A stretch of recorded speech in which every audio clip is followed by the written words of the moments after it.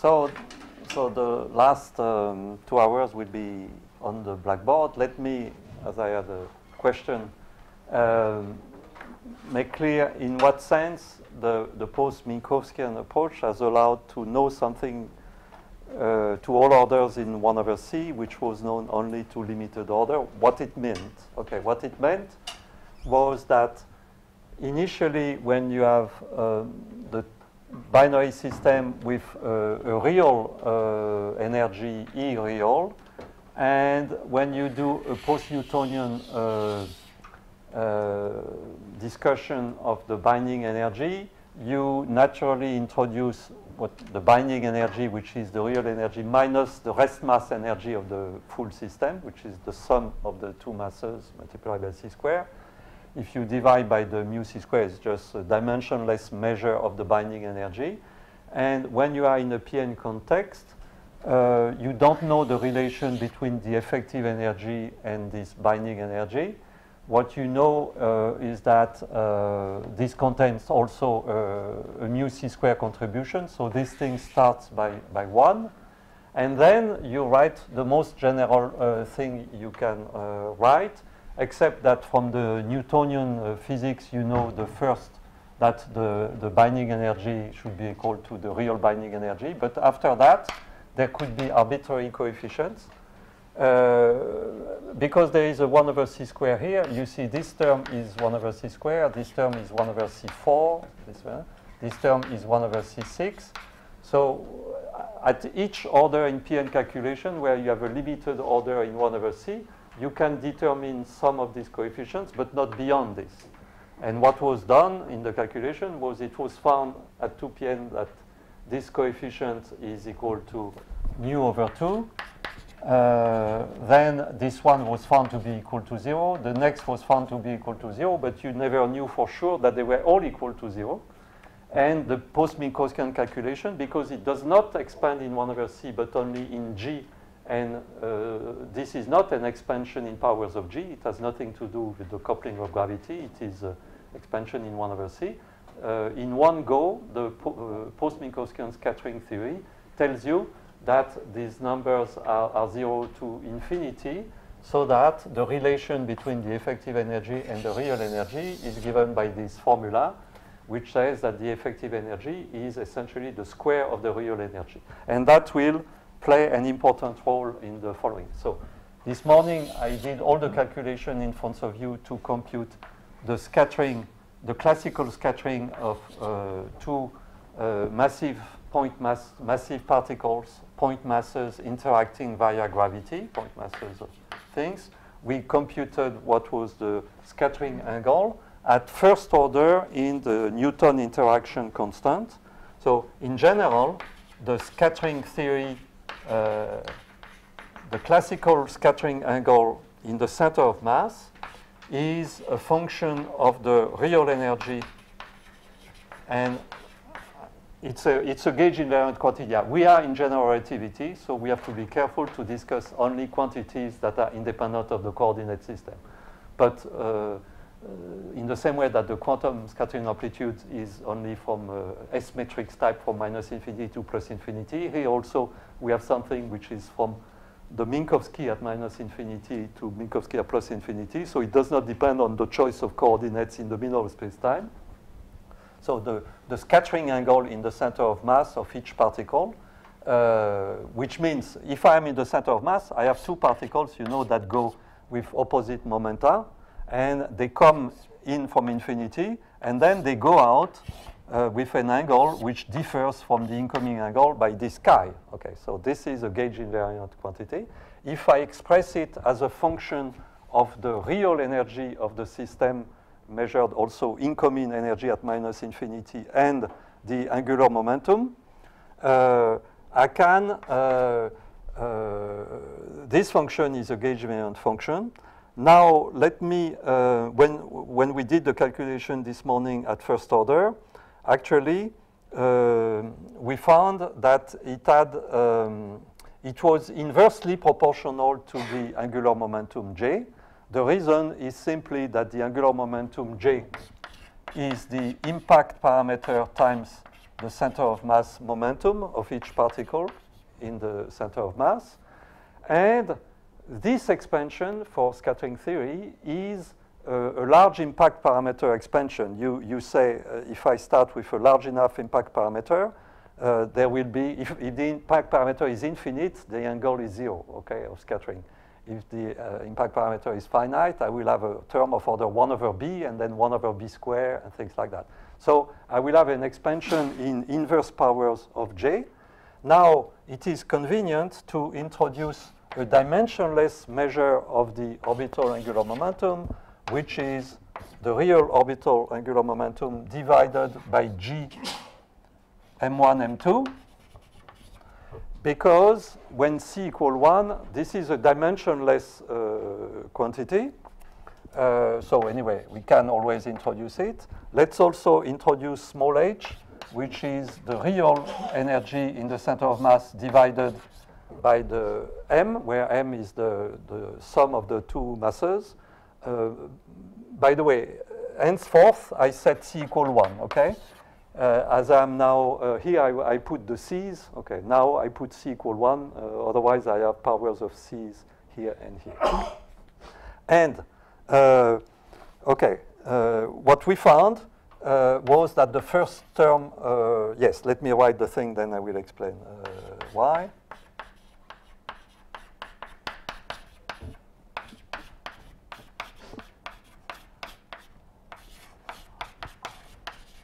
Okay. Uh, this morning, uh, we computed this term.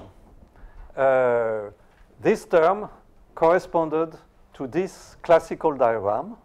And at the end of the lecture, I will discuss how it also corresponds to the Feynman diagram computing this amplitude. Okay. Now I want to discuss the next term. Uh, this term, because it is 1 over j, and as you see, 1 over j, just formally, is g m1, m2 over the real j. Uh, therefore, 1 over j is actually first order in Newton's constant g.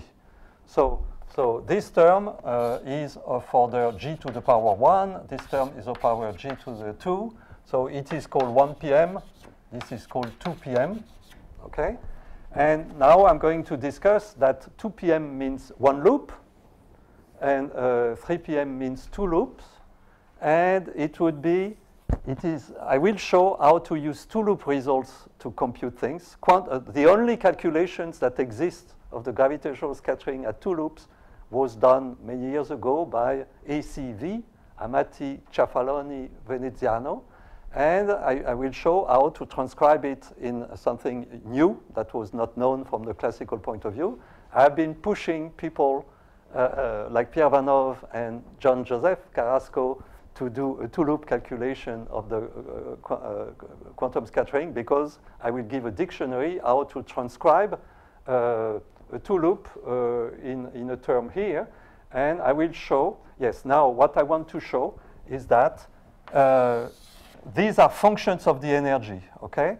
And each, each one, so there is a, a function of energy uh, the classical scattering gives at its order g, finally, only one function of the total energy. Okay? And we have shown at first order what was this function chi1. I will show what is the chi2. Each one of these functions can be transcribed in an EOB Hamiltonian, uh, which has the advantage of being valid also for binary systems in elliptic motions. Okay, so bound states you can discuss. So uh, classically, uh, you have something which is purely a scattering angle, nothing to do with bound states, but this goes to an Hamiltonian, which then computes bound states. This goes to an Hamiltonian, which computes bound states. And the idea is that the quantum version of this also give the same, I mean, can give this information, but one needs to compute them. So this morning I describe in detail uh, what means classically this diagram, and I computed it for you. It's uh, how to compute the scattering angle uh, from this. But I said this morning also that when you compute this, for instance, you have to integrate this system. For, so A is a label which goes from 1 to 2, which is either the first world line, A equal 1, or the second world line, okay? each world line has equations of motion, which are geodesic equations of motion, which means that the derivative of the world line uh, is equal to the, the four momentum in curved space-time. I write the four momentum here in covariant way. This is why uh, I need the metric to raise this index up. But with this notation, I'm using it because the covariant momentum decima satisfy minus one half, if I write it this way, is the same expression that I wrote before, except that I use the inverse metric. Okay, I use the inverse metric because here, this way, I have P A alpha, P A beta. So you see, this is a, this is a system of differential equation which, if I know along the world line of a particle the metric G, uh, I can integrate this, and in particular, I can get the change between the incoming momentum, P, P mu in space-time, and the outgoing momentum. And this information about the change of momentum gives me the scattering angle, which gives me this expansion. Okay. This morning, we, we, we showed directly how to compute this to first order. To first order, it's very easy. You, you, you solve, the, the metric is given by a linearized expression. Uh, so given two world line, uh, you can write the metric as at linearized approximation, it is the sum of the metric created by the first world line plus the metric created by the second world line. But uh, when you go beyond that, you have to take into account that the first world line create a gravitational field, the second world lines create a gravitational field. They interact nonlinearly because I solve Einstein equations which are nonlinear, so I solve D'Alembert of H equal terms nonlinear in H. And then this creates a gravitational field, okay, at point X. And then once, so I know G mu nu uh, as a set of diagram of this type, then I compute the derivative of G mu nu on this thing, I integrate, so finally, it gives me a diagrammatic representation, classical, of the scattering angle by, uh, and the, the first order uh, diagram would be this, and then you have uh, diagrams uh, like that, but you need to take into account something else, as Ricardo noticed. Uh, in general, the world lines are curved. Why are they curved? Because they follow this equation, which means all the time P mu changes. So when I do perturbation theory starting with straight world lines, I need to take into account that the world lines do not stay straight during the calculation, that they uh, evolve. And when you do that, you find that you, you get ladder diagrams. Ladder meaning also cross ladder diagrams. Cross ladder diagrams classically just means that I compute this, but in the calculation, I have to take into account that the world line has shifted a little bit. And then when you look at it, you find the famous uh, eikonal type uh, 1 over kp uh, denominator in doing that. Okay. I also, um, yeah, so you have more, classically you have more of these diagrams. Like for instance, you have also, sorry, the, the, yeah, the, the world lines are more attracted than uh, repelled, but anyway, it's just a convention. You have uh, a diagram like that means what? It means that uh, when I solve Einstein equations, I solve this equal uh, the source, linearized source, plus uh, two derivative acting on H, but I have also that the source is modified by H because the, the T mu nu of the source contains square root of minus G mu nu. When I expand it in the source, I have H also. So this means that the graviton H uh, uh, because I'm solving this as coupled to the source, etc. So you have a, classically, you just, uh, it's, it's Picard integration, okay? Nothing but Feynman is also, uh, it's a Picard-Dyson uh, iteration anyway. Uh, you have a set Uh, of, uh, uh, you, you compute something which is technically given by, can be represented classically this way but, uh, but each one of these diagrams has a, a correspondent in, uh, in a Feynman diagram. The only diagrams that uh, would not be present classically are diagrams like that, okay, which would be graviton loops, really, which do not enter the classical calculation. So there are more uh, quantum diagrams than classical diagrams. Now, this morning, I could give you the, the explicit computation of this thing. Uh, it still took us, I mean, in principle, if you think about it, it takes five minutes. It took me 30 minutes to explain it, but uh, uh, it can be much faster than that. So, uh, the vertices are not always trivalent. But at this order, yeah, in Einstein, there are vertices to all orders, yes.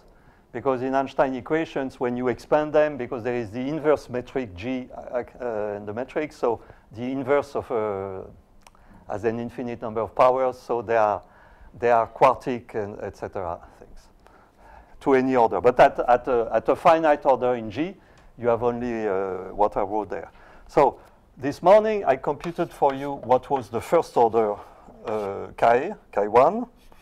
And if I um, now, um, yes, now, as I have proven uh, this formula, uh, instead of expressing uh, chi1 in terms of the total energy uh, H, I can use uh, the relation between the real energy and the effective energy, uh, which is quadratic there, to express it in terms of the uh, effective energy, that is to say, uh, divided by mu. So uh, E hat effective is the effective energy defined by this formula. So it is the left-hand side uh, of this equation. So it is uh, S minus m1 square, uh, m2 square, etc. Actually, in terms of kinematic invariant, this thing is minus P1 dot P2 over M1, M2. You know, you have two incident momenta at minus infinity. You do the dot product, minus sign because I use the mostly positive signature. And uh, this is a dimensionless measure uh, of the relative uh, uh, velocity between the two particles that I use as uh, independent variables. Okay. Chi1 as a function of uh, E real and, and J, or if, equivalently E hat effective and small j, sorry, chi1 is just a function of the energy. Sorry. Ah, I, I, uh, the other variable that I wrote here was nu. I remind you, for people who miss the thing, that nu is the symmetric mass ratio.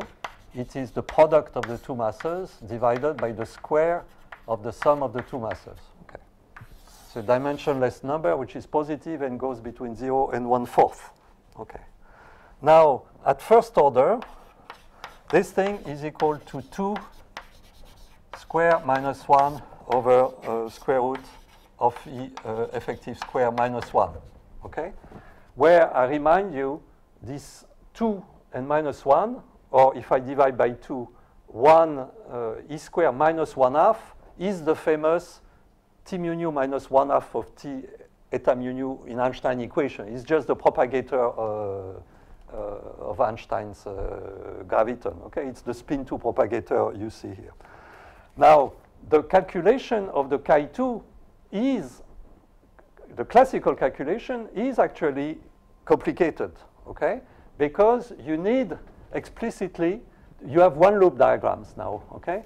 These, these things means you integrate over the intermediate point and you also, after that, integrate over the world line. So it is a non-trivial calculation. And in the 1980s, a younger version myself and collaborators, and independently uh, Konradin Westpfahl in Germany, computed uh, the, the, metric generated by two point particles to the second post-Minkowskian approximation. And in it, we needed a few special integrals, uh, okay? Uh, because there is this one loop, uh, one loop integral is a one loop integral. Okay? There is really an integral to do somewhere. And the, the corresponding calculation of the scattering angle has been done by uh, Westpfahl. And the result is quite, uh, is quite simple, but uh, it's normal because uh, it's just a function of one variable, so it cannot be hyper complicated. But still, it is, uh, is simpler than what you might think in view of what you need to do to compute it. Because the, the second order term, so order g square, is 3 pi over 8. So there is pi now coming in. Why there it was rational here.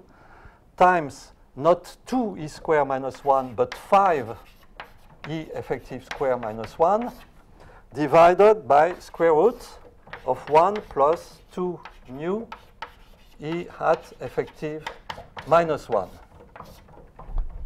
Okay, so anyway, it is the result uh, of a calculation. And now, what I want to uh, describe explicitly is how do you transcribe this information, which is the second order scattering, uh, the uh, scattering angle classical at second order in, in G, in terms of a knowledge of the interacting Hamiltonian described in the effective one-body uh, approach of a two-body system. Uh, how do you do that? To do that, as I said this morning, you, the idea of the effective one-body is to say the same scattering angle. So finally, this expression to this order of approximation with this expression and this expression should be the scattering angle of a particle moving in a certain effective metric or given by a certain mass shell condition that I will uh, write, uh, which fully uh, encapsulates uh, this information, okay? So let's do it. Okay. To do that, um, so as we, as we have discussed, when doing this effective one-body transcription of the Hamiltonian dynamics in the post-Newtonian sense, uh, we found that the motion could not be just a geodesic in an external spacetime. It had to include uh, terms uh, of higher powers of P in uh, like a Finsler geometry, that is to say a mass shell condition, which is not mu square plus P square, but mu square plus P square plus terms P4 higher powers of P. So a more general function of P. Let me write, as we have shown this morning, that this, this result is fully equivalent to saying that uh, I have a particle moving in a Schwarzschild, uh, linearized Schwarzschild uh, spacetime. So this is equivalent to this. Uh, now I looked for something beyond Schwarzschild.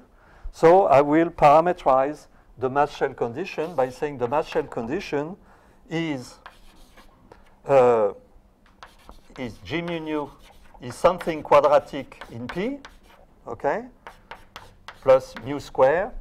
So let's indeed not be confused. This mu means the reduced mass to be distinguished from this index mu. Okay, I could use alpha, beta, but. Uh, and then I just write uh, a certain function q of uh, position and, uh, and momenta. Here we will see uh, three-dimensionally projected uh, position and momenta. It's just a way of writing a very general mass shell condition. Okay. Uh, as a function of momenta, this I could say, maybe I could expand it in powers of momenta. There will be terms quadratic in momenta, quartic in momenta. The terms quadratic in momenta, I could say, ah, they modify this thing, which is quadratic in momenta. But I don't even do that here. I just say, okay, let's forget about that for the moment. Let's just put a Q. And because we will see that it is a much more complicated, it should not be expanded in powers of P. The new information is that you don't want to expand Q in powers of P, which is the usual post-Newtonian. You want to keep it as an exact function of P. And because now, uh, I, and now I can consider, just as a convention, that this metric is the Schwarzschild metric, which means what? Which means that, remember, the Schwarzschild metric is d square is minus a dt square plus b d r square plus r square d theta square plus sine square theta d phi square, where a uh, is the inverse of the b function, and this is 1 minus 2 gm over r. So now I am assuming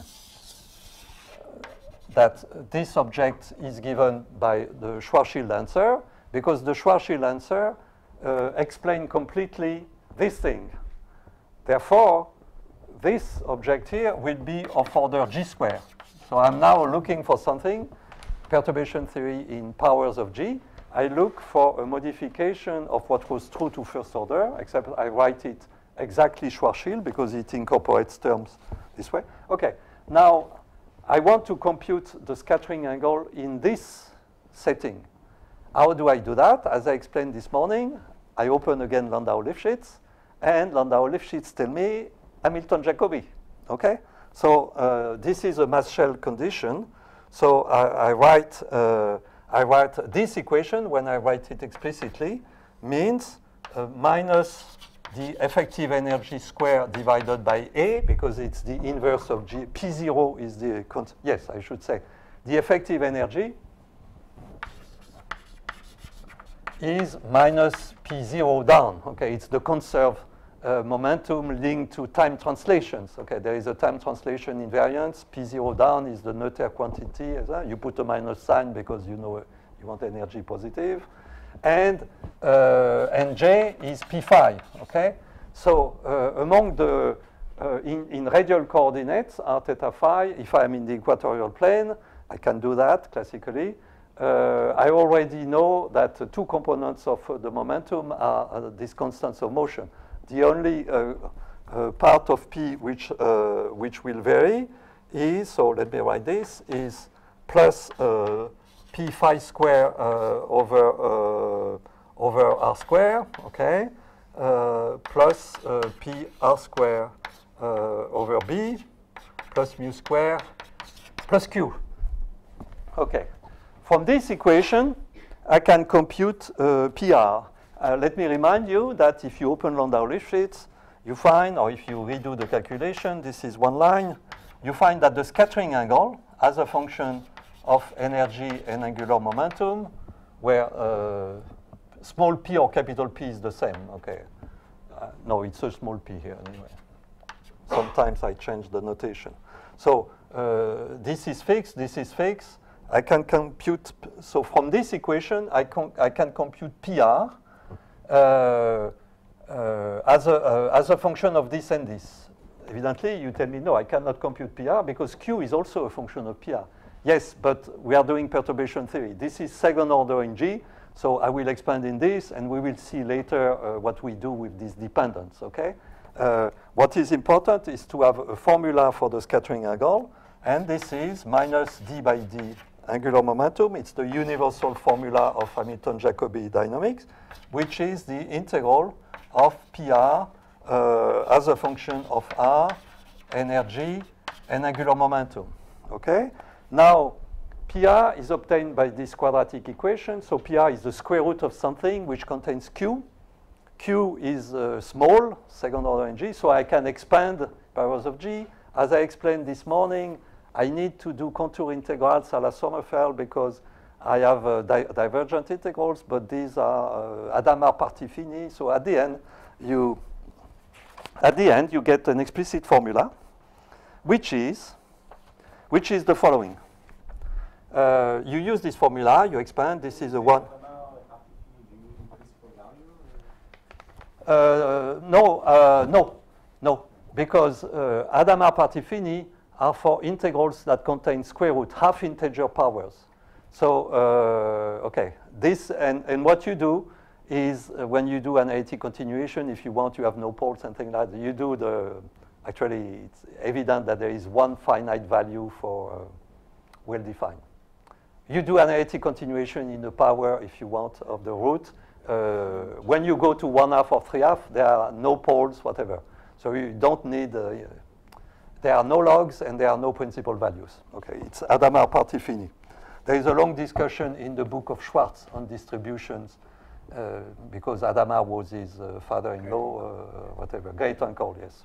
Um, anyway, at the end, you get the following formula, explicit formula, one half, the one half is just conventional, of the uh, scattering angle, chi effective J minus the answer, because if I don't put Q, the calculation here is what? It's the calculation of the scattering angle of a particle in a Schwarzschild spacetime. What I'm assuming here is that you open again uh, Landau-Lifshitz, and for Schwarzschild, you have the answer. It is given by an elliptic integral that you can compute. You can write explicitly or whatever. Anyway, Schwarzschild, everybody knows how to do. It's not trivial, but you, uh, you compute it.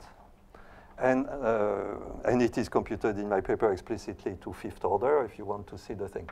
So the difference between the answer for the, the scattering angle of a particle around a Schwarzschild black hole. So this thing is the scattering angle of a particle flying at some impact parameter around the Schwarzschild black hole.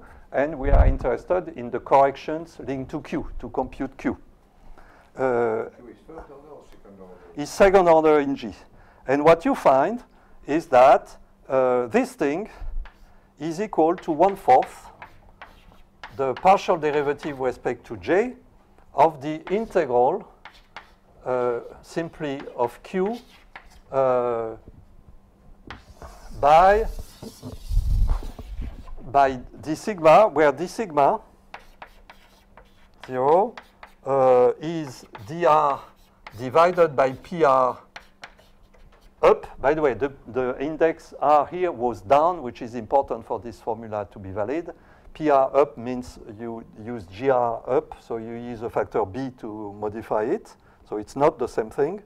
And this is the proper time uh, uh, divided by mu which is the same notation I used. So this proper time is along, at, at this order, along the, along the Schwarzschild, uh, this thing, because I computed already the, the correction of order G. So, so the answer is very simple. Uh, the difference uh, between uh, this thing and the computation in the Schwarzschild spacetime uh, is proportional to the j derivative of the integral of this thing that I try to determine fully along the world line from minus infinity to plus infinity. Okay? Uh, immediately you see that the answer has a gauge invariance because if I add to Q a proper time derivative, if I change Q by d by d sigma of any function, the answer will not depend on that. When you think about it, you realize that it's because if you look at the Stuckelberg Hamiltonian, you know, Stuckelberg was the first one to say, before Fock, I think, maybe not, uh, that you can view relativistic mechanics as mechanics uh, in a super time uh, with a super Hamiltonian, which is uh, one half, let's say Minkowski spacetime, one half of eta mu nu, uh, p mu, p nu plus mu square. Okay? If you use this as an Hamiltonian, you get a dynamics not in time, but in proper time. Okay? And Stuckelberg uh, introduced uh, years before Feynman uh, things that went up and back in time, particle creation this way. Anyway, uh, when you think about it at the super Hamiltonian level, you find that indeed I can do canonical transformation in x mu p mu. In Itzykson and Zuber, by the way, it's also discussed, these things. Eight dimensional. Uh, no, I, I mean, you add, uh, you have, you, you view particles. 4x and 4p. Yes, yes. You view particles like moving in space-time like that, okay? And then you need an extra parameter to see their motion. and things. So it's this Hamiltonian dynamics, just. It's the Polyakov action at, uh, for the particles, okay? So it's the Deser Brink, uh, whatever action. Um, now, uh, I'm saying that because there is a gauge invariance. The, uh, I cannot determine, the function q is not uniquely determined. I have a choice. Uh, I can modify the, the way, uh, because it's going to be very important. uh, I can uh, shuffle around the way q is written as a function of momenta and position, because I can always add something which integrates to zero. And um, this morning we have seen that when you fix the gauge in the EOB uh, Hamiltonian in a way which looked convenient for binary systems that were uh, uh, near circular motion, that generated uh, something infinite in the uh, self-force expansion of uh, the function A. Now we are going to see that you avoid this and you understand what happens at uh, infinitely large energies, that it is not a problem actually. Uh, but for this, you need to use another representation of the Hamiltonian. Uh, then we are going to, um, uh, you show, uh, okay, let me write the Q is a function which at order uh, g square must be of the type u square, so let me define u. u is gm over r, like before, okay? It's a dimensionless uh, variable. First, yes. So this is second order in G. And as I am expanding in powers of G, I must be uh, modulo logs that do not uh, appear here, uh, gm over r square, and then a certain function of the uh, momenta. At third order in G, I will have E cube Q3 of P. At fourth order in G, U fourth Q4 of P. Okay. Now, because of what I said, you can express Q2 not in terms of all the components of P, but only of the conserved energy. Okay? So what we are going to do, so this is called uh, now the uh, energy gauge. Let's assume that this is a function of the uh, effective Hamiltonian. Okay? I want it a function of the momenta, so I use the mass shell condition to say the energy is the Hamiltonian as function of momenta. So it's still a function of momenta, but this is conserved. Now, uh, now the integral is easy to do because uh, this is a function of energy. It is constant under the integration. So the only integration is the integral of uh, 1 over r square over the proper time, okay? And this is uh, easy to do. And when you, I don't show the explicit computation, but let me just give the, the answer. The answer is that starting from this thing, which should be uh, here on the left-hand side minus the Schwarzschild answer. By the way, what is the Schwarzschild answer? The Schwarzschild value of the scattering angle to second order is obtained from the two-body answer by taking the limit where one mass is much smaller than the other one. So the answer is just by uh, taking nu equals zero. So the answer is given by this thing up, okay? So uh, I subtract from this this, and then I get Q2. So now let me write the result. The result is, I will push it up then, is, let me take away this. The result is that Q2 as a function of the uh, energy, right here. Then I will comment on the result H effective nu is equal to 3 half times you, you have actually, you find the same factor which was here, 5, 5 effective energy square minus 1. But then this is multiplied by, so you remember what is u. 1 minus 1 over square root of 1 plus 2 nu h effective minus 1. Square root.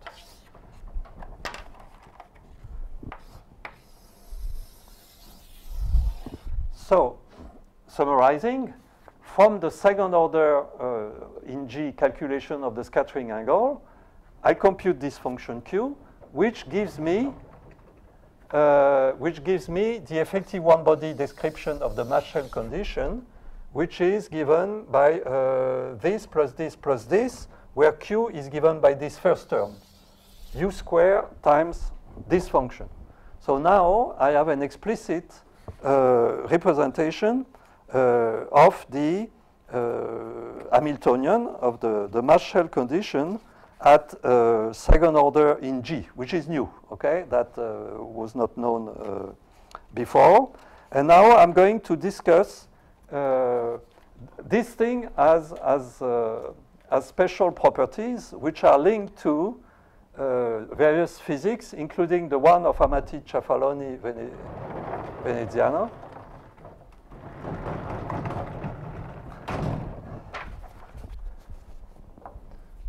That I want to describe now.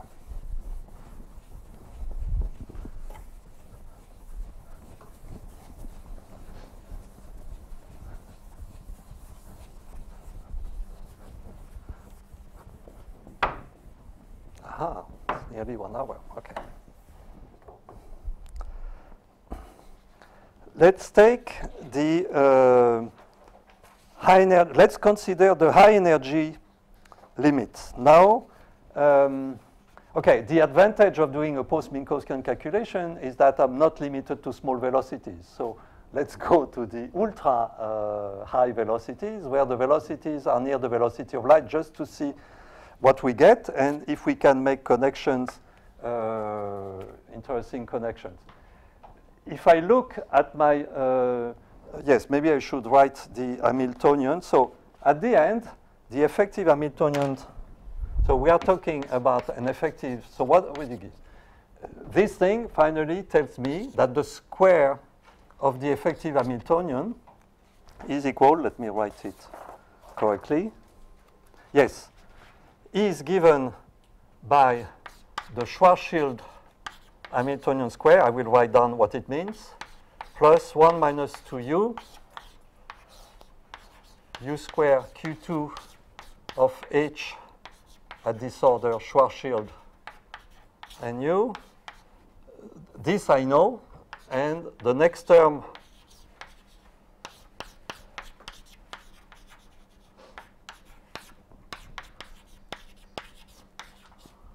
okay, same thing, plus etc. Okay, so h Schwarzschild square is the square of the Hamiltonian of a particle uh, in a Schwarzschild spacetime. This is 1 minus 2u times 1 plus 1 minus 2u pr square plus p phi square u square. So I remind you that u is gm over r. Okay? 1 minus 2u is Schwarzschild 1 minus 2m over r. Okay? In the mass shell condition. This is pr square divided by the coefficient of dr square, which is the inverse of 1 minus 2u. That's why it is up.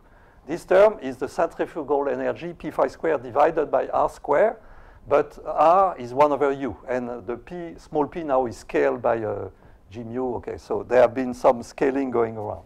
Okay, and so it gives me, so at the end, one is saying that the real Hamiltonian of a two-body system as a function of position and momentum, okay, E is equal to the total mass square root of 1 plus 2 nu H effective at minus 1, not F effective square, H effective, where H effective is the square root of this thing. So you see, we have a nested square root, uh, the real Hamiltonian of a two-body system for scattering, but also binding state in the second post-Minkowski is the square root of the square root of this thing. But everything is fully explicit.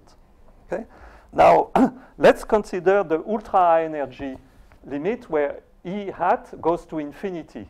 When E hat goes to infinity, this goes to zero, and this term goes to something quadratic in E square. The important uh, aspect is that uh, the mass shell condition, I said, the mass shell condition was p square plus mu square plus q. And I said q, when you expand it in post-Newtonian, is not quadratic in P. It contains quadratic, quartic, and things like that. But when you go to the ultra energy limit, it becomes again quadratic because you see Q is proportional to this function Q2, which is this. So when I go to ultra energy, I get, I am again, I have this nonlinear structure, 1 over square root of thing, which if I expand it, generates cubic, quartic, things like that. But uh, when I go to ultra high energy, things simplify again. And then I find that at ultra high energy, the mass shell condition, uh, so at ultra high energy, the scattering of two particles is equivalent to the scattering of a particle, again in a geodesic now, but this geodesic is the ultra energy limit of uh, what I got by this calculation. And now we are going to show how to use the result of uh, ACV, uh, Amati Ciafaloni uh, Veneziano, to get uh, new information. Okay. Yes? But what about Q So you have this expression of powers of u, uh, so you just said that Q2 will scale like quadratic. Ah, but, uh, yes. The principle, because uh, if you're looking on the upper blackboard, this uh, n Yes. chi, chi 1 and chi 2 is this limit you have the vision theory. Yes. So uh, at this stage, uh, we don't know Q3. Uh, by the way, Q2 is equivalent to one loop diagrams. I will show at the quantum level. Q3 is equivalent to two loop diagrams. We don't know it precisely. From all the evidence that one has from the Schwarzschild case, I am making here the conjecture that all those, uh, that Q3, Q4 are also quadratic in the ultra high energy limit. And I'm going to show a confirmation of this in the sense that let's assume it is quadratic. I'm going to compute the coefficient of the quadratic term from the result of Amati Ciafaloni Veneziano, which is evidently not a proof from the mathematical point of view, but for a physicist, it's proof enough Well, that things That's only giving you uh, access to Q3, not Q4. right? And also Q4. The statement is escape to occur. I will show how to get Q4 for subtle things of uh, ACV. Let's do it. So uh, now um, to do that, uh, uh, so ACV computed the scattering. Uh, okay, because they were in the ultra high energy limit. Uh, here, what I would like to have is the scattering of massive particles, let's say scalar particles, because uh, I don't want to consider spin effects here. So I have two uh, scalars of different masses, quantum scalars now, M1 and M2, scattering, and under gravity there will be a certain scattering angle and a scattering amplitude. What uh, Amati, Ciafaloni, and Veneziano computed was uh, a two-loop uh, diagram where, sorry, it's not, uh, maybe I should write it uh, not in this form, and they, uh, for, uh, for gravitons actually, for low energy uh, modes of the string, okay, like gravitons, okay, uh, because this is independent, okay, if you shoot gravitons at ultra high energy in the center of mass frame, nobody cares what was their mass originally, the mass disappears, okay? Now, uh, yes, actually I should say the better answer, Gregory, to your question is that when you do EOB, usually you see the masses M1, M2 everywhere. So it seems that if you take the masses will be there uh, and the high energy limit will be bad. No, what happens is what you expect. When you take the limit of ultra high energy, the masses disappear and the answer depends only on the energy of the incoming particles. And we see this already here at this level because the mass only appears in U. But when the energy goes to infinity, this term disappears. So the answer does not depend on the mass ratio. Okay? Now, uh, Amati, Ciafaloni, Veneziano have computed uh, in the eikonal approximation, and by the way, it's never clear to me uh, in what sense this is, uh, when is the eikonal approximation uh, good, but they're supposed to resum uh, an infinite number of ladder and cross ladder diagrams from which they, uh, they compute the, uh, the scattering angle in the eikonal approximation. So actually, although their calculation is quantum, at the end they give a classical scattering angle, which is the eikonal uh, scattering chi. And let me write what they write, okay? Uh, so Amati, Ciafaloni, Veneziano, at the end, they write uh, sine of chi over 2, uh, so it's ACV, in the ultra high energy limit, high energy limit, is 2 alpha plus 2 alpha cubed. And now, yes. Okay, so because of the analytic properties of the amplitude, that has to be analytic in S, let me define alpha, okay? There are no, okay, uh, they say, and uh, we are going to see it is correct, that there is no term in alpha square and no term in alpha 4. And this is why one can get an information at 4 p.m. and not only 3 p.m. because they give information that one coefficient is zero, okay, which is information, okay. Uh, uh, they have a very long calculation, and the, the result of this calculation is to find there is a coefficient 1 here, okay? But this calculation has never been redone.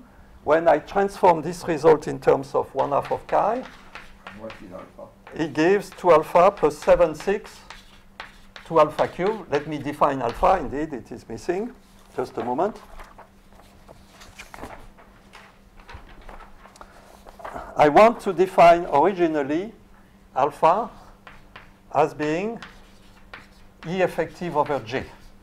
Because, yes, now let's look.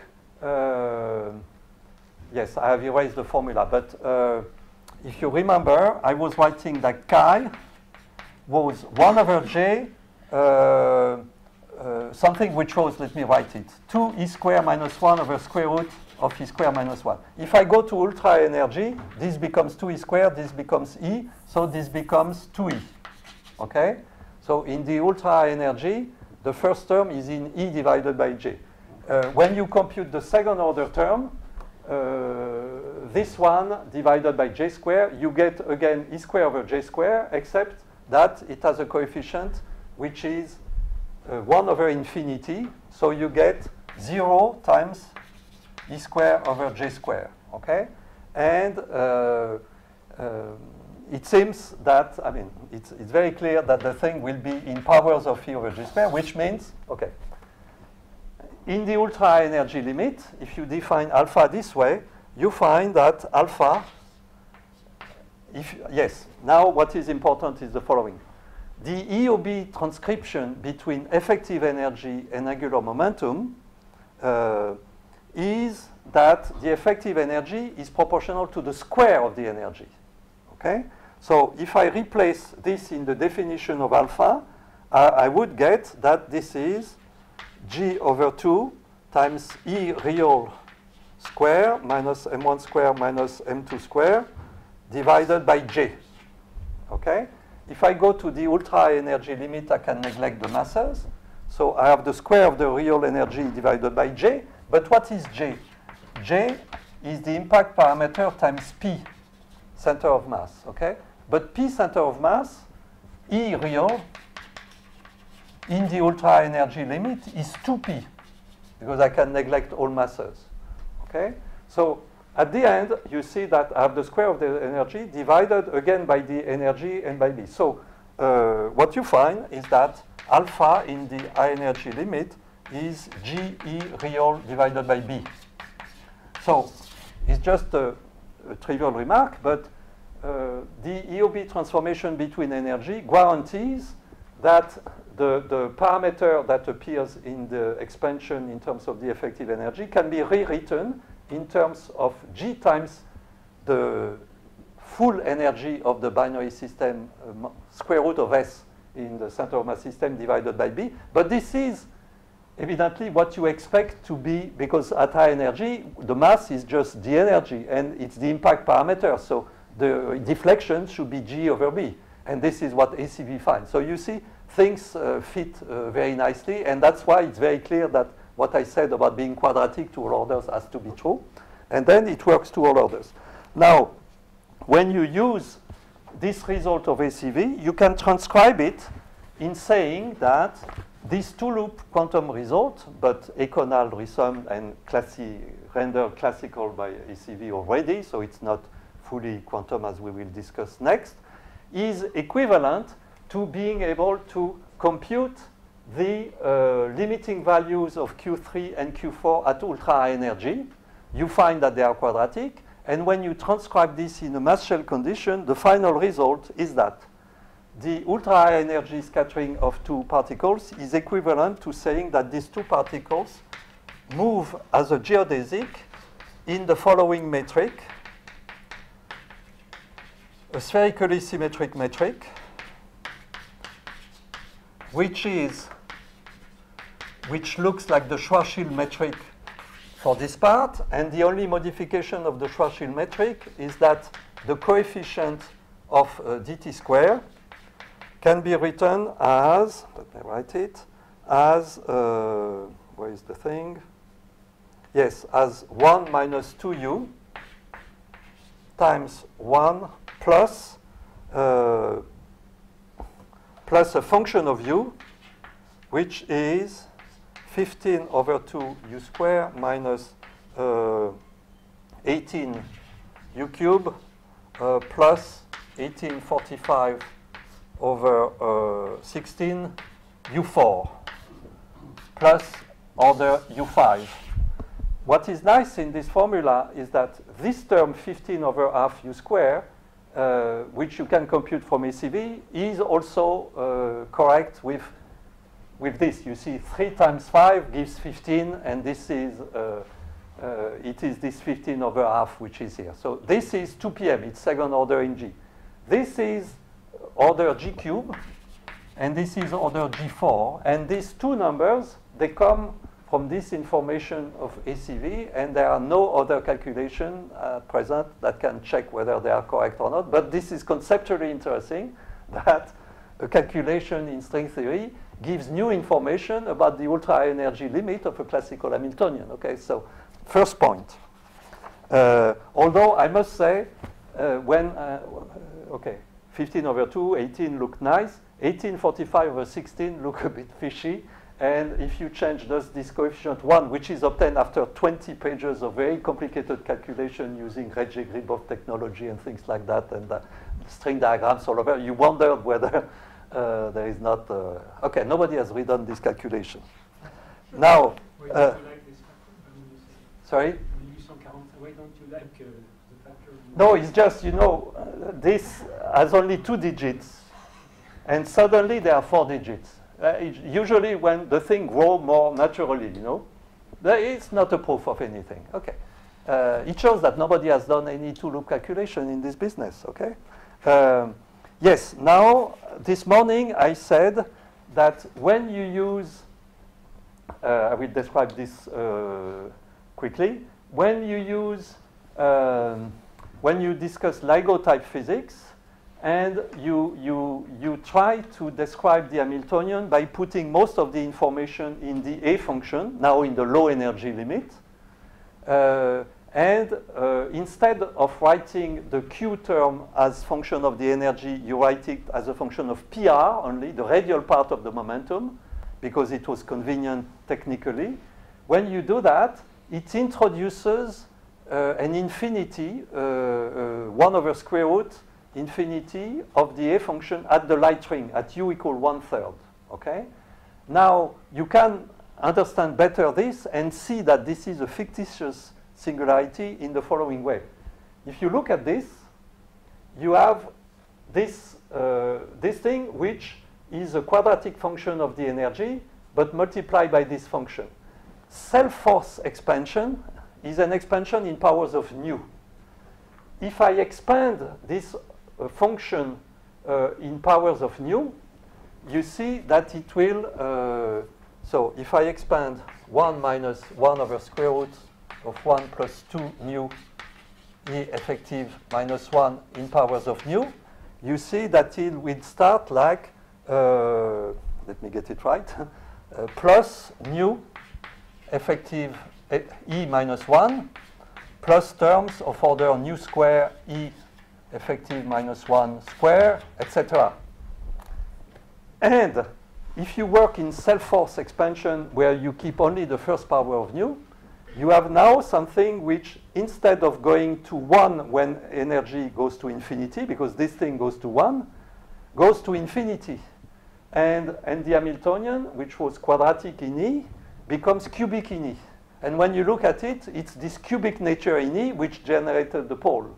But you see that if you take the exact thing at 2 p.m., which is not uh, the full thing you want, it suggests that it's just a problem of expansion, that you, you use an expansion in power of nu, which is not valid when the product of nu and this becomes of order 1. It is just a limited expansion for small uh, thing, etc.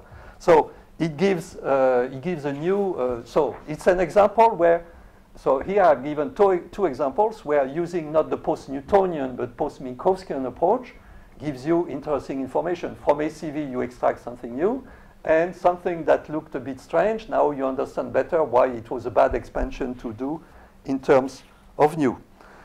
Now let me discuss the high energy Regge behavior. Uh, so I will keep this. Yes. I want to discuss, before coming to the quantum amplitude thing, uh, discuss something which is linked to an interesting Regge type behavior of uh, binary black holes uh, at ultra high energy. Where again, the EOB nature uh, of the energy map plays a crucial role to get a Regge slope, a linear Regge trajectory. Let me, okay, what I said must look very mysterious, so this is actually simple. So let me, uh, let me consider the following problem. I take two black holes. Yes. Uh, I at this stage, this uh, I'm thinking physically, so I'm interested in black holes. Uh, but uh, yes, I, yes, I stop. Uh, yes, I can stop um, now if you want, or I describe it very quickly, and then we go uh, quantum. What about that? Uh, I take two black holes and I shoot them uh, like that. The question is, uh, before we were discussing the case where they have a large impact parameter and therefore they deflect simply. If I diminish the impact parameter, what happens is they start deflecting a lot, okay? If I diminish further the impact parameter, they will actually merge. There will be a critical impact parameter where the two things go from infinity and then they go direct merger. By the way, in all this calculation, this is the um, this is the conservative part of the dynamics. So I am taking a time symmetric Green's function. So no gravitons are emitted at infinity, no energy loss. Okay. So uh, when I have energy loss, I I have to correct for this. Be large, it could be stars, anything. I Yes, except that you know the impact parameter is such that if you put stars, they will uh, the stars will uh, merge before. Uh, you need very compact objects, okay? And the most compact objects are elementary particles or uh, black holes. Okay. The point I want to uh, say is the um, is the following. Critical value of B in terms of the Yes, it's two. radius. we will we are going to compute this critical radius. So, uh, assuming this, I can compute the this critical radius, and then we have new information. And then at this at this critical radius, what will happen is when the two black holes get near. Actually, if you don't go beyond the critical radius, the two black holes will be on a circular orbit. You see, the, and then they will whirl around each other indefinitely.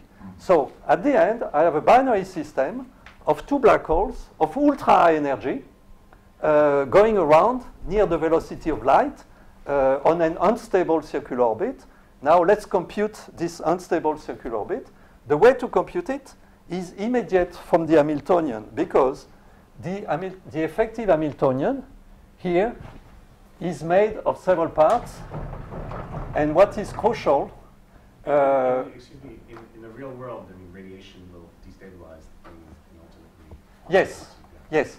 But there are ways to That's do numerical simulations. There are ways to correct for this. And from numerical simulation, you can access this. Okay? I'm not saying, uh, yes. Actually, we have done that for slow motion, for instance. We have used EOB to compute what happens. huh? Because you can take into account the radiation lost up to merger, and, and this gives you, uh, when you reach the critical thing, before radiation has time to act again and do something. It's okay. But this is still a blurred uh, thing because it's, I'm not saying uh, the answer is immediate. What I want to say is that if I plot the effective, the effective energy, uh, I'm interested in circular orbits. So in circular orbits, uh, PR is equal to zero. In this formula, uh, what you get is therefore that this is a function of u and uh, p phi, the angular momentum j uh, if I plot it as a function of u, what do you get? You get something which is like that. That is, uh, this is the centrifugal barrier. Okay, this is u. u is gm over r, which means that uh, when they are far apart, this is here. This is infinity in real space. And the fact that this is 1 means the gravitational interaction is 0 at infinity. Then there is actually an attractive potential, minus uh, u, and then there is a centrifugal potential, which in Newtonian physics would go to infinity and would mean the two objects can go around. In gravity, the centrifugal potential is multiplied by you know, 1 minus 2u, which means that this thing goes to 0 to u equal 1 half, so the centrifugal barrier has to go down. Okay. This is just in EOB description of the circular orbits of two bodies. Now, in this thing, what is the, the critical impact parameter? It is the energy at infinity, which is here. If I, have, if I shoot particles at infinity with this energy, this means they will come together And this is an unstable, but this is a circular orbit. So it, it corresponds precisely to this circular orbit. So the impact parameter can be obtained just from the Hamiltonian. Okay? So let's take this, and let's take this in the uh, uh, ultra energy uh, limit. And what you find is just from the result written above, you can compute that for this system, the uh, square of the energy, S, Mandelstam parameter, so S is the square of the real energy of the system, is a function along these things of the angular momentum, which has a linear slope, that is what you find, is the Regge slope of the square of this system, this bind, bound system and uh, unstable bound system of two black holes, is such that, so S is a linear function of J, and I can compute the slope. First, this slope, because of the EOB formula, is 2 over G, the uh, derivative of the effective energy as function of small j, and it is very easy to see why the effective energy is linear in J. And when you uh, compute things, you find that this thing is equal to 0.435087 over G if you use the 2 pm approximation. If you use the ACV result, which gives you corrections to this, you don't get 0. Point, uh, but this number is replaced by 0719964. And uh, so the conclusion is this system are such that the square of the energy is uh, a number of order unity divided by Newton's constant uh, times the angular momentum. Uh, and we remember that an extreme Schwarzschild black hole is such that the square of an extreme Schwarzschild black hole uh, is actually as a linear Regge trajectory also with slope now 1 over g exactly. So here there is a number uh, c of order 1. It is not clear if this number should be 1. That is to say, if this system should be essentially identical to an extreme Kerr black hole or just nearby. Many people have tried to compute this thing. I just want here to remark that this critical thing, that ACV, for ACV, this thing is the threshold of black hole formation. So, you know, this is important uh, classically and quantum mechanically. People are doing numerical simulation. I just wanted to show that EOB gives a one-line way of computing this if you know the post-Minkowskian thing. Like, let me stop here for 10 minutes, then we'll go quantum. Okay, so now we finally reach uh, what was the aim of this thing, which is uh, how to navigate uh, between uh, various things. Uh, uh, first, all that is motivated by a LIGO type of coalescing binary systems things. Uh, LIGO is not interested in scattering states and quantum scattering states, but uh, the EOB is a way method is a way of transcribing, I mean, of describing what you need here in terms of an Hamiltonian. And we have shown in, in the previous thing that this uh, Hamiltonian can be obtained not only by post-Newtonian type calculation for bound systems, but from classical scattering, actually in a very uh, direct way, post-Minkowskian classical scattering. And now I want to uh, speak about the link between quantum scattering amplitudes and uh, classical Hamiltonians. First, uh, using EOB as a transcription uh, medium, a way of conveying information, uh, because what I've shown here is a one-loop classical scattering gives an order uh, G square uh, Hamiltonian, which describe both scattering and bound states, okay? So uh, the main point that I'm trying to push people to do is that uh, as classically uh, two-loop classical scattering calculation looks complicated by the method that I know how to do, I'm hoping that modern amplitude methods using on-shell methods and double copy should more easily get the two-loop gravitational scattering, quantum scattering. And what I will describe is how, assuming this result exists, how this thing can be transcribed in terms of a classical EOB and Hamiltonian, which then can be used for binary system and LIGO, which would be a use of quantum calculations for LIGO physics, which is conceptually nice. The ACV example already showed something. Now, the idea that quantum scattering calculations can be connected with classical Hamiltonian description was started in the 70s after early work in the 60s, in particular by the Japanese group, in particular by Iwasaki, who, uh, who uh, did, uh, computed uh, those Feynman diagrams. So now these are quantum uh, scattering uh, amplitudes under gravity exchange of, of scalar particles, okay? And who uh, when computing the Feynman integrals, made a post-Newtonian expansion by saying, okay, let's assume the momenta are small, I'm in a corner, and then uh, related this to the Einstein-Infeld-Hoffmann 1pn Hamiltonian. So already in his calculation, he has shown that uh, this thing is directly connected with the 1pn uh, uh, Uh, Hamiltonian uh, of Einstein, Infeld, Hoffmann, uh, Lorentz, and Droste. Okay, uh, but everything was done in a PN sense. Okay, uh, my point is that if we want to do it without making small velocity assumptions, so in a post-Minkowskian sense, you get more information. But the question is how you get it. So what I will show so first, there is, uh, there is a problem. The problem is the, uh, is the following, is the criterion of the validity of the Born expansion, okay?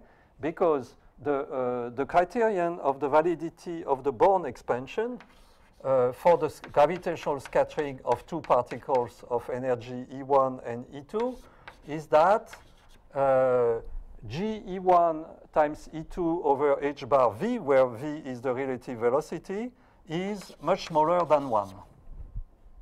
Okay? But evidently, the classical scattering of two particles is valid in the opposite limit because the classical scattering is when formally h bar goes to 0, uh, and therefore this quantity actually is much larger. Okay? So we cannot, or at least I don't know how to start from a quantum amplitude given by a Born expansion, which is, uh, I cannot take directly the classical limit of this, okay? It, it does not contain directly the information about the classical scattering angle. The classical scattering angle chi I was talking about will appear in the S matrix if I do the h bar going to zero, the classic classical limit of scattering, but then it will go in the exponent, uh, i exponential i delta over h bar, and this is a large phase uh, scattering. Why? Born expansion is by definition a small dephasing, okay? So, but we all know that most people don't notice this because by accident, the Born approximation of the Coulomb potential gives exactly the Rutherford uh, scattering, okay? So when you look at first order in the Born approximation, you don't see that the next order term uh, is either quantum or classical, but uh, uh it does not work immediately. So uh, what I suggested in the paper which is given in, reference is a way to bypass this is that uh, is to, so a dictionary between the classical Hamiltonian and the quantum scattering is to take the classical EOB Hamiltonian, and to quantize it. Okay, we are going to show that uh, you can express the classical EOB Hamiltonian as just uh, classical potential scattering, only trivial potential scattering, and you can quantize it immediately. And I will do it at the one loop level. I will quantize the, uh, so now I will com compute a quantum scattering from the EOB point of view. And after doing this quantum amplitude calculation, I will check that this is equal to one loop calculation that exists in the literature, except that when I did that, I found that all the results in the literature were incorrect in some ways. They had wrong signs, wrong relative factors, you know, but uh, inside the formulas, the referee suggested Ah, maybe you should check the paper of Guevara, which was just before I had submitted my thing. Indeed, in the paper of Alfredo Guevara, which was a one loop using Cachazo-Guevara uh, method, uh, the overall sign was wrong, but at least the relative factors between the things were correct, okay? But this is one loop, okay? We really need uh, two-loop calculation, but let me show you how to do, how to quantize the one-loop post-Minkowski expanded. So the, uh, so one loop post-Minkowski expanded thing is the 2 p.m. thing I was talking about, the, what I just talked about in the previous lecture, which used, you remember, they were explicit one-loop diagrams, but computed now in post-Minkowskian, not doing post-Newtonian approximation. So what was the result? The result was uh, that we had the mass shell condition from UB, which was uh, G0 mu nu P mu. So I scaled uh, the mass square to have 1 here, plus Q hat, where this was Schwarzschild, and this thing was the Q. Uh, uh, what was this Q? Yes, this Q at the 2 p.m. approximation is simply U square Q2 of the energy. And, uh, okay, this is at the 2 p.m. Let me consider this first classically. Let me now write the Schwarzschild metric not in uh, Schwarzschild coordinates, but in isotropic coordinates. Isotropic coordinates means the Schwarzschild metric, ds0 square, is written as a function of a new u, which is not the same as before, let's call it u bar, plus the coefficient uh, b multiplies uh, dr square plus r square d omega square. In other words, b multiply dx square. It is conformal. The space metric is conformal to the Euclidean metric, okay? This is why it's called isotropic, because the radial direction is not uh, different from the other directions in this case. And the function a and b for Schwarzschild are known exactly. Evidently, it's a trivial uh, calculation. It is, but it's different from the usual Schwarzschild. You know, it's 1 plus 1 half to the power 4 square is square, and b of u bar is 1 plus 1 half of u bar to the power 4. Anyway, this is an, ex it's Schwarzschild. It's an exact solution of Einstein's equation. And now, let us write the u is again gm over r. Yes, and u bar is gm over r bar. As you say, there is a new radial coordinate, r bar. So, uh, okay, gm over r bar. So it's the new 1 over r coordinate. Now, uh, when you, uh, you find, uh, so again, Hamilton-Jacobi. So at the, at the quasi-classical level, the mass shell condition, I can write immediately uh, as an Hamilton-Jacobi equation. And uh, this Hamilton-Jacobi equation will be, let me write it explicitly, will be minus uh, E effective uh, square divided. It's the same formula as before. It's, it's G mu nu, it is, yeah, it's this, okay? So it gives a mass shell condition, which is minus B over R uh, energy, uh, sorry, square, uh, plus 1, plus p square, now isotropic, uh, so pr square and p phi square are put together, divided by b bar, uh, plus u bar uh, 2 q2 of the energy, okay? Plus, anyway, this mass shell condition is known only modulo terms of order u cube, okay? Now, if I rewrite this thing by multiplying by some powers of u, you find easily that this mass shell condition is equivalent to saying that p square is, is as this form, is p infinity plus a certain function of uh, u bar, uh, where this function of u bar is actually, let me write it, is p infinity plus something linear in u bar plus quadratic in u bar square and plus something cubic, but which I must neglect at this stage. Anyway, the trivial point, The G square is a correct one for Schwarzschild or approximate. uh, which one, sorry? Yes, zero square. This is Schwarzschild exact. This is the exact Schwarzschild. But now I take this extra Schwarzschild plus the new 2 p.m. information, and I expand in powers of u, and you get a classical mass shell condition, which says what? Which says that the kinetic energy, P square, is equal to a constant P infinity square. Let me write what is P infinity square. All the coefficients that appear here are function of the energy of the system. E square minus 1, okay. W1, we are going to recognize this thing, is 2, 2 energy square minus 1. So W1 uh, is, um, was the coefficient, chi1, was the coefficient of the first order scattering. And W2 is also the coefficient which appears in the scattering, which was 3 half of 5 energy square minus 1 divided by the square root thing, 1 plus 2 nu energy effective minus 1. But the, the, the, the trivial point is that, so this condition is p square plus a certain function of u equal constant. But this is the Schrodinger equation. I mean, this is, the, this is energy conservation. Uh, but uh, immediately, uh, if I want to quantize this, this uh, I say evidently this is the time-independent Schrodinger equation, so it is potential scattering. So finally, this thing, it is a relativistic case, okay? This is a relativistic motion, which can be ultra-relativistic. But technically, it is p squared plus a function of 1 over r uh, equal a constant. So it is like poten non-relativistic potential scattering. And therefore, uh, if I write the, uh, the energy-dependent uh, Schrodinger equation, uh, the quantum uh, scattering is obtained by solving, solving a potential problem, if you want, the Lippmann-Schwinger equation. and which problem? The problem, so...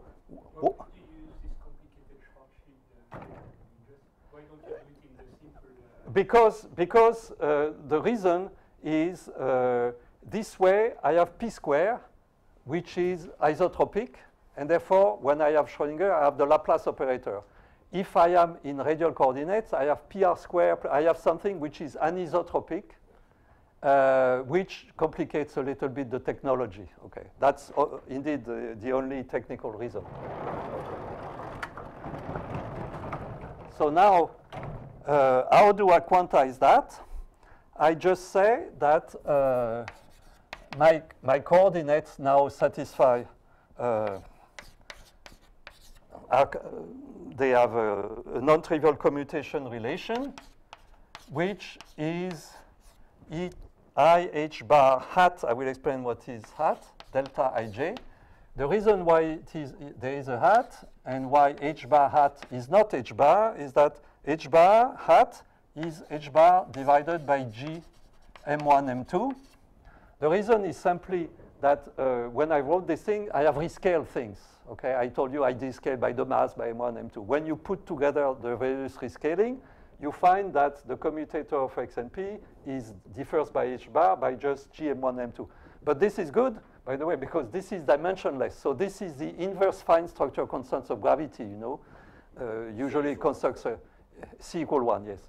Instead of e bar e square over uh, h bar c, I have G M1, M2 over H bar C. This is the inverse fine structure constant, which should be small for a quantum uh, calculation, sorry, small for a classical calculation and can be uh, large for a quantum calculation.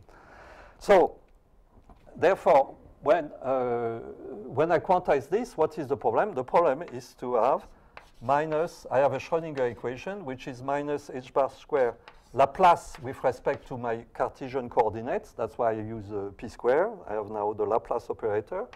Psi of x, so I write the amplitude uh, of scattering, I mean before computing the scattering.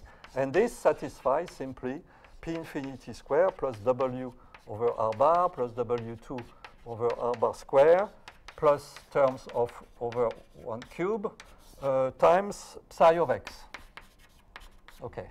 And now uh, I'm going to compute just what is the, the wave function propagating in this.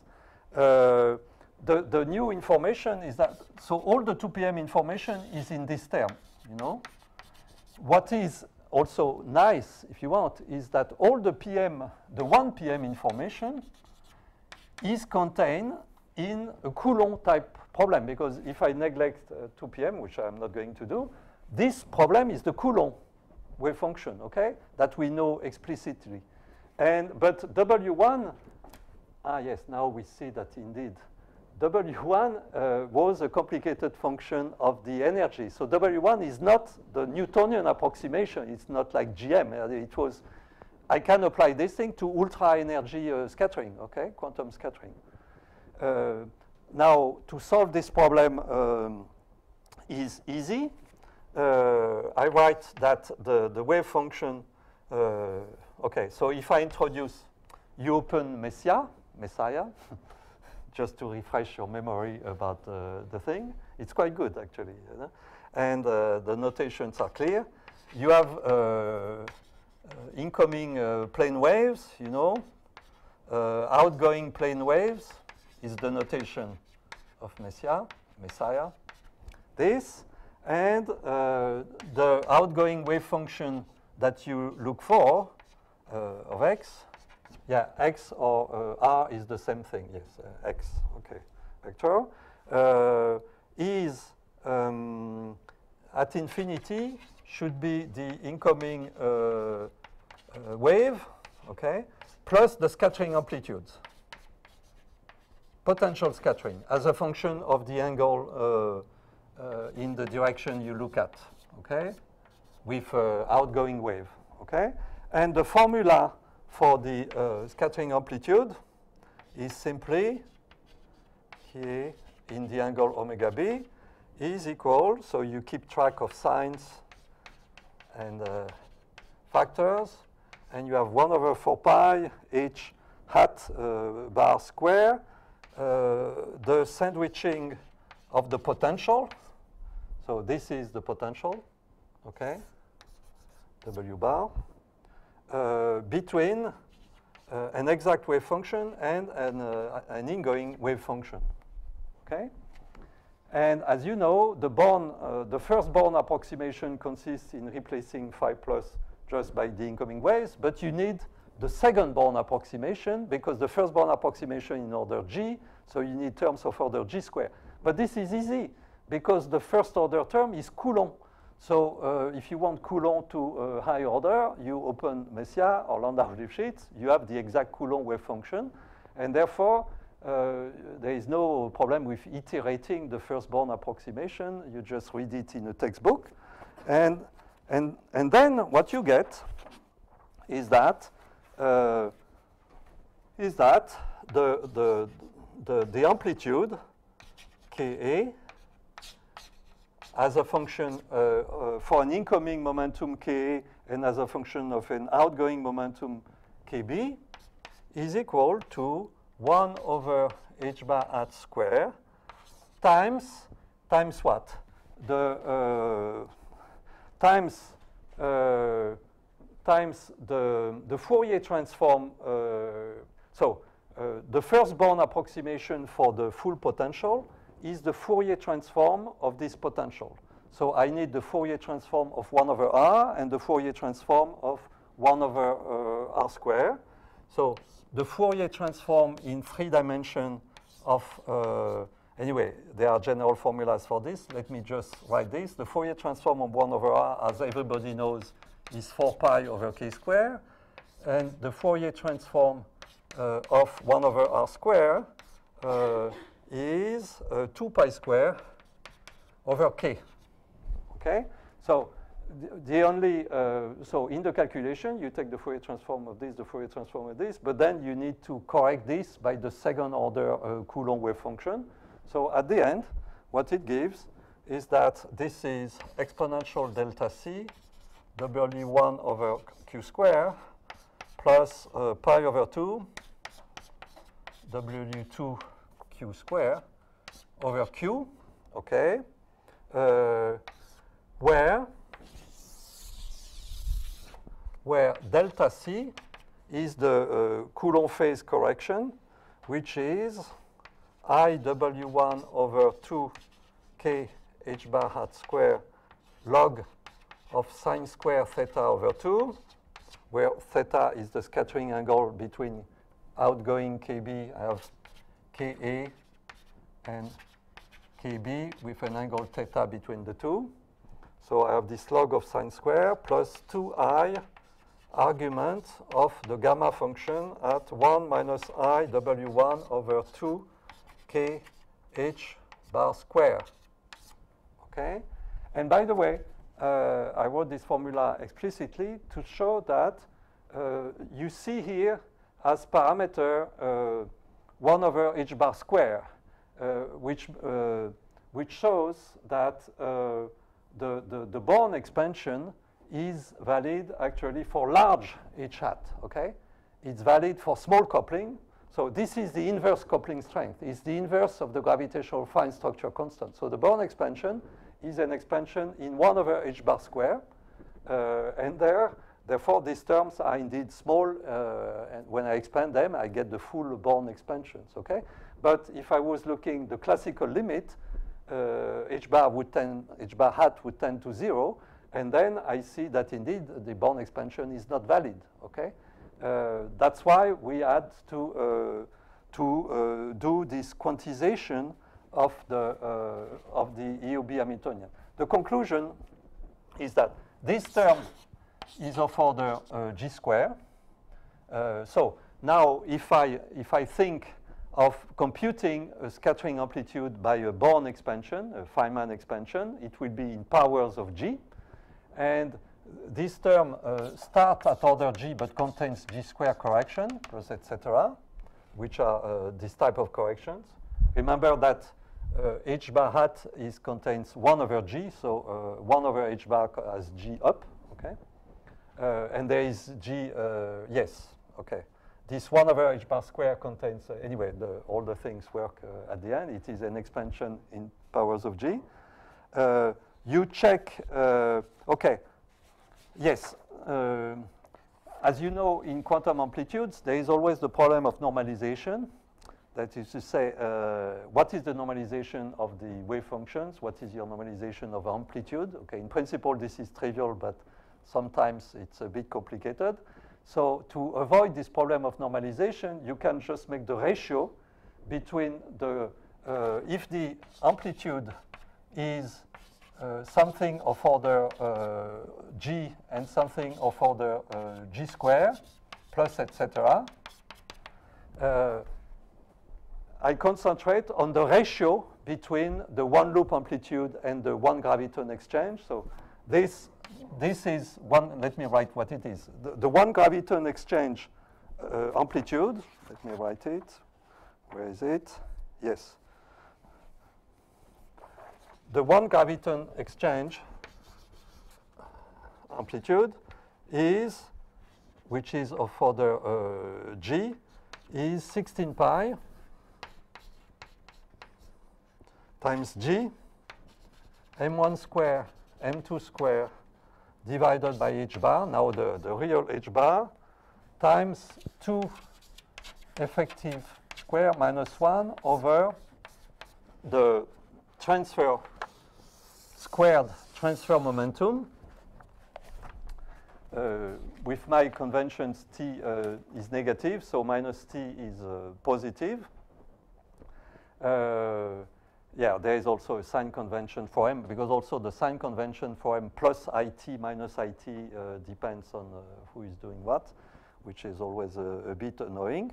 Um, this modulo analytic terms, so, so this thing says that the ratio between the ratio between the, the G square amplitude and uh, uh, so this is a one graviton exchange thing, okay, this thing and uh, why this thing contains in particular uh, one loop exchange, okay, that this thing must be equal to the ratio between this and this, okay? And when doing this ratio, uh, the nice thing is actually you don't even need this Coulomb correction because you do the ratio between this, which is order g squared, to this, which is order g. So you are already of order g. So it means that this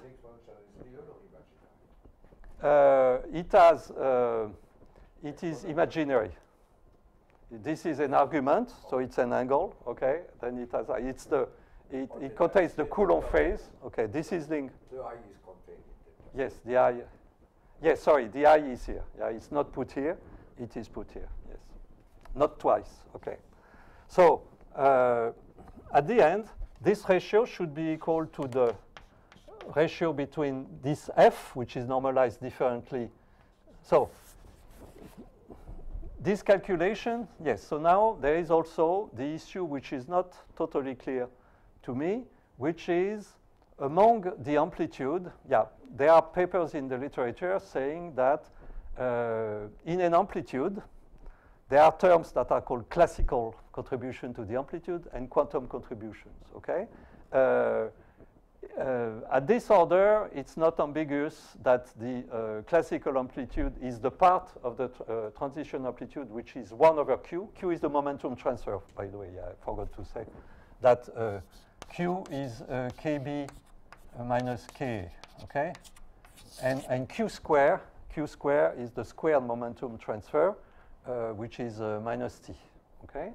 So here I have 1 over q square, which we recognize is the Coulomb, uh, 1 over r thing, and 1 over q is, is the next term, okay? So uh, indeed, uh, at the one loop level, uh, if I take the ratio of the part of the amplitude which is in 1 over q and the part of the amplitude which is 1 over q square, which is Coulomb type, I get an explicit result which is 3 pi I, I gave this example to be clear, and to see structure. So it's 3 pi over 8 times 5 effective energy square minus 1 divided by 2 effective energy square minus 1 times g m1 plus m2 times square root of minus t divided by h bar, okay? Uh, and there is the g here, modulo terms of order g square. So let me frame this, because this is the main result of this calculation. Okay, so, so you see, to, to summarize, from EOB, there is a transcription of the dynamics, the complicated dynamics of two black holes at a rather high level of approximation where it, it can be ultra-relativistic, relativistic, or whatever. But finally, it gives a potential problem with a potential which is 1 over r plus 1 over r squared. I mean, what, how simpler it could be, okay? But the coefficient of 1 over r and 1 over r squared are complicated function of the energy that includes square roots of 1, okay? But, uh, but it is very easy to, uh, to compute the, the, the, the, amplitude, to make the ratio of the amplitude at order g square and at order g. And when you put together all the thing I had written, which used all the information I explained in the previous lecture, like 2 p.m. one loop thing. So all the one loop classical calculation has computed this function, this function. Uh, you get this result uh, at the end. And then you ask, are there computations in the literature at the one loop amplitude where if I make the ratio, I get this? And, and this is where that uh, most results were not correct. And the one of Guevara had just an overall wrong sign, but apart from that, be maybe because he was using unitary methods, which uh, you lose, uh, you have the square, so you lose the sign, I don't know. It means one has to be careful for the future. But all this structure uh, indeed was there. So it's an explicit check that a quantum uh, one-loop calculation, uh, so I could do in reverse, for instance, if we had not done before the, the classical uh, 2 p.m. calculation, the classical one-loop, uh, I could have used the result of Guevara to compute this, and then I would have obtained this, and then I would have obtained the 2 p.m. Hamiltonian I wrote before. You see, this is in that sense that there is a dictionary, classical quantum, which can be used both ways. And, and that's why I am eager to see uh, two-loop quantum calculations to be able to uh, extend this to the next order and extract from the two-loop uh, amplitude calculations something which will be now the, the 3 p.m. Uh, classical uh, EOB Hamiltonian. And uh, there will be many checks because first, from the ACV calculation, the ultra high energy, we know the coefficient, okay, assuming this is correct. But once you have the Hamiltonian uh, uh, the Hamiltonian, you can get it, if it, if it is obtained in a post-Minkowskian approximation, this means it is valid four all velocities. So I can take also the low velocity limit of this, and we know that to for loops. So, uh, I mean, one can detect any small error in any calculation and, uh, and do many checks. See? And yes, and, and so indeed, let me uh, summarize the thing. The idea there, which was the idea of this, of many papers uh, of uh, Itzykson, we are in Itzykson room, Itzykson, uh, um, uh, Zuber and, uh, was Zuber? No, uh, uh, Zinn-Justin and, no, it was not Zuber, sorry. Brezin, Brezin, yes. Brezin, Itzykson, uh, Zinn-Justin, and I should have mentioned Todorov also, uh, because it seems that the Logunov school had uh, tried for years to transcribe uh, scattering amplitude into potential, okay? Although this potential were uh, momentum dependent in a complicated way and never, uh, here we have a very trivial momentum dependence. The fact that you have a potential which is, you know, energy dependent, but just 1 over r, 1 over r square makes it very easy to know uh, the discussion of this. Uh, sorry, the calculation, what was the question? Yes. So the idea, the idea of all those things was to say, let's start from scattering amplitudes and maybe even the eikonal approximation uh, of scattering amplitudes and transcribe it in a form that can predict bound states, either by analytic continuation or going through a potential, okay? This is the same idea here. We start with scattering, uh, quantum or classical, but once this is transcribed in an Hamiltonian, this Hamiltonian then describes bound states. You see, when you go to a classical Hamiltonian description, you have immediately uh, bound states. So this is a way to transcribe uh, quantum scattering information into bound state information for gravity, including what I discussed before, which is um, which is that this ultra energy bound states of two black holes going at the velocity of light, you know, for infinite uh, angular momentum and this critical parameter, all that would be contained uh, by analytic continuation in, uh, in a quantum uh, scattering calculation. But what, what do you mean by bound state in the, in the gravitational case? Uh, bound state means uh, elliptic motion in the classical gravitational case. That's what it means. You remember that the beginning of EOB was to say, I start with uh, elliptic type motion, I describe them by the Delaunay Hamiltonian, which means the energy is expressed in terms of the action variables, but this is in one-to-one correspondence in the quasi-classical limit with quantum bound states, discrete bound states, where the action variables are quantized in units of h bar, and therefore that's why from EOB you were identifying action variables in the effective and the real problem, because this way you are sure that the discrete quantum bound states correspond to each other. That's the basics of EOB in the bound states. While in the, in the scattering situation, you are using something else, which is the scattering angle as function of energy and angular momentum. You no longer have discrete states because these are continuous states, but this is the same dictionary finally Which correspond to hyperbolic? Which corresponds to hyperbolic trajectories. So uh, yes, there is something else. So I have uh, essentially finished what I wanted to say. There is something that I did not, uh, I wanted to say, I did not say. Uh, let me say it uh, briefly and uh, end up a little bit early. Everybody will be happy about that. Is to speak about post-Minkowskian spin orbit coupling calculations. I have, I have talked essentially here about uh, non the scattering of non-spinning black holes, okay?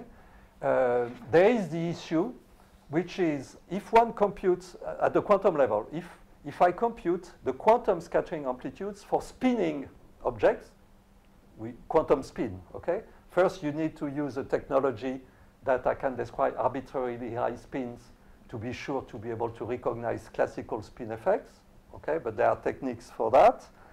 But from the classical point of view, uh, let me tell you about, uh, let me push this up, about some recent work done uh, in collaboration with Donato Bini, and there is also interesting work by uh, Justin Vines uh, at the 1 p.m. level. and we work at the 2 pm level, which is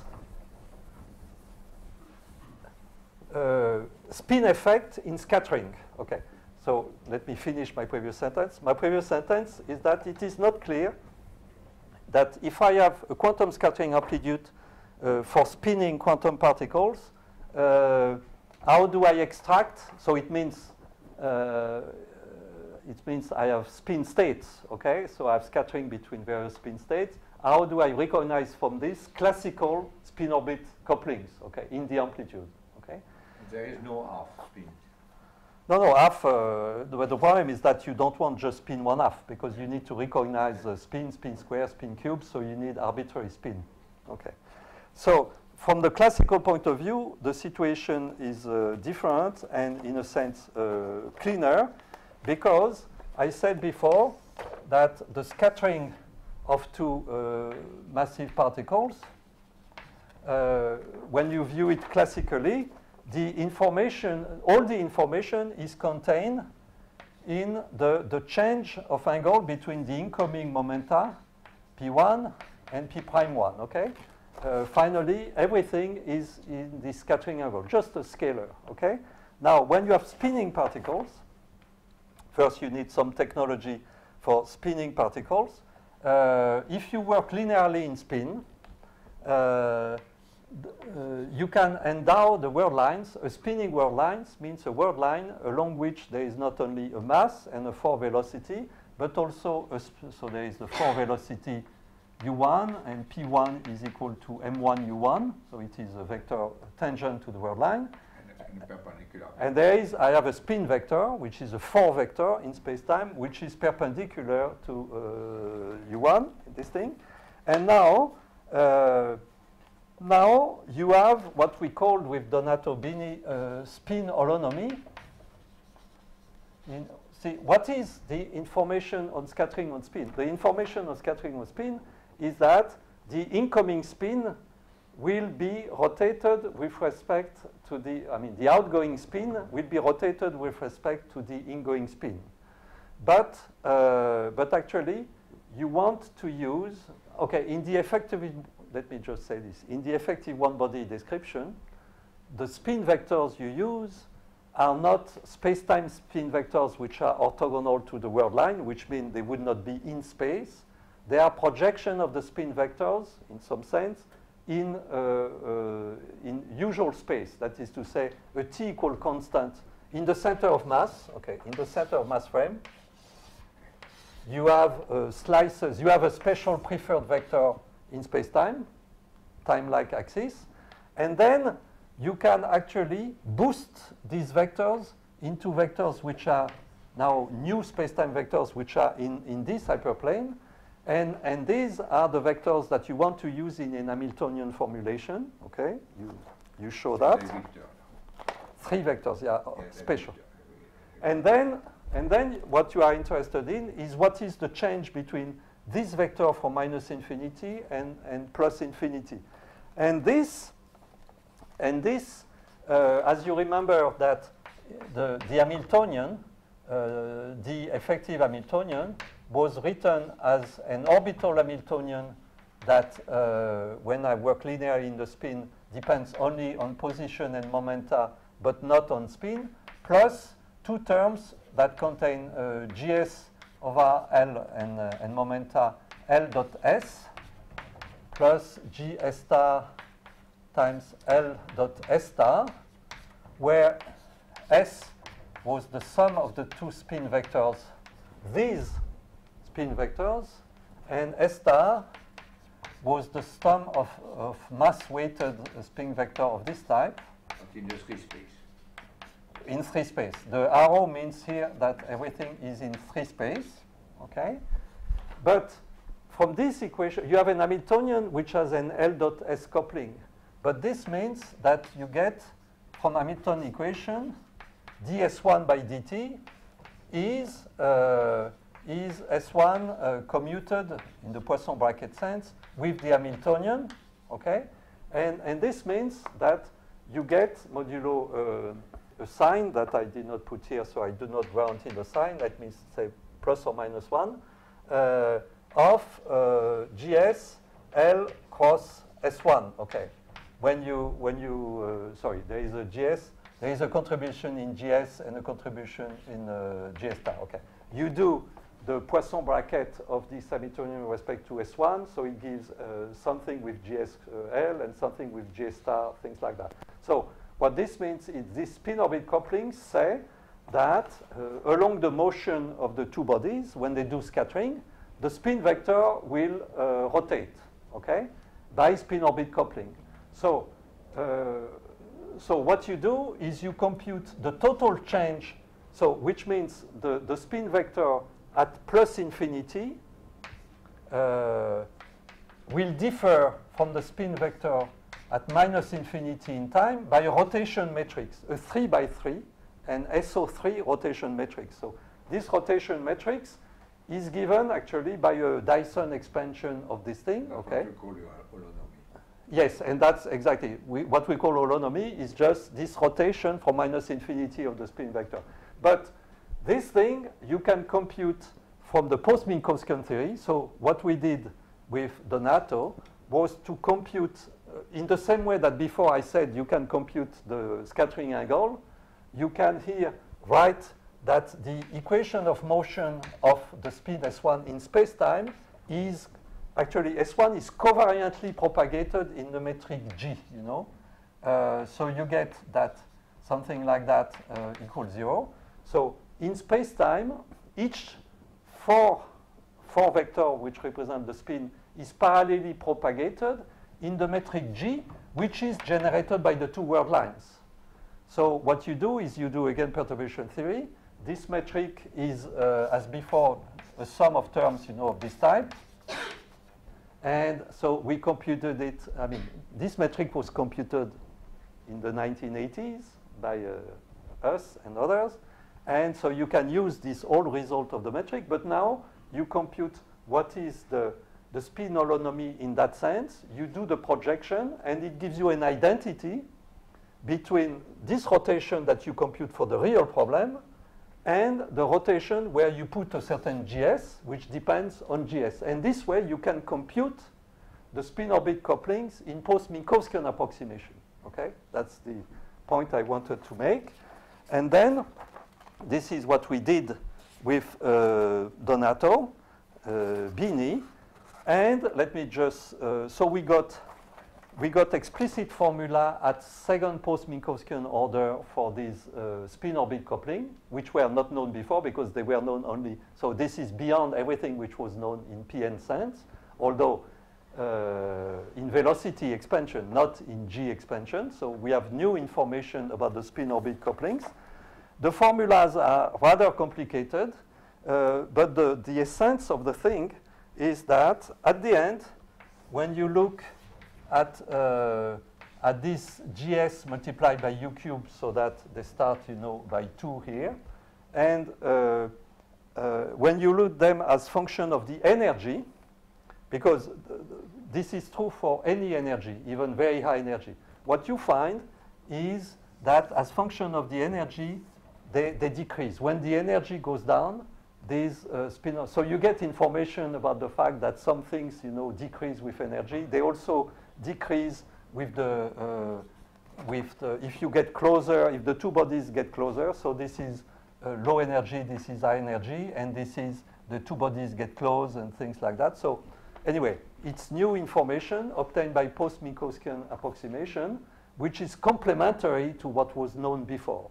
And uh, one of the things for the future is now we have a lot of information from post-Newtonian, from self-force, from post-Minkowskian, hopefully from quantum calculations. And the summary of all the lectures is to say that uh, um, to combine this information and transcribe it in a uniform way, it's convenient to use the EOB framework as a transcription language, you know, because otherwise you don't know what to do with this information. It's, it's some information, but you don't know what to do useful for LIGO for it. Why? EOB is just from the practical point of view a rather simple scheme that can use information from many different, including numerical relativity and quantum information. So that was the summary in one uh, word of uh, the lectures I gave. Thank you for uh, your attention.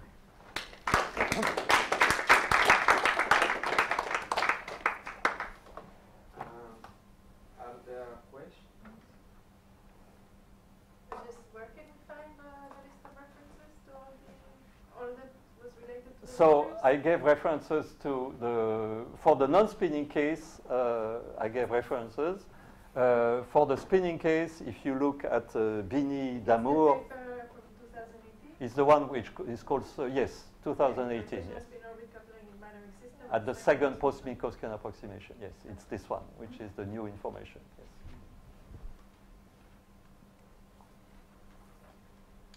So, okay, so thanks uh, Thibault for, uh, for the great discussion.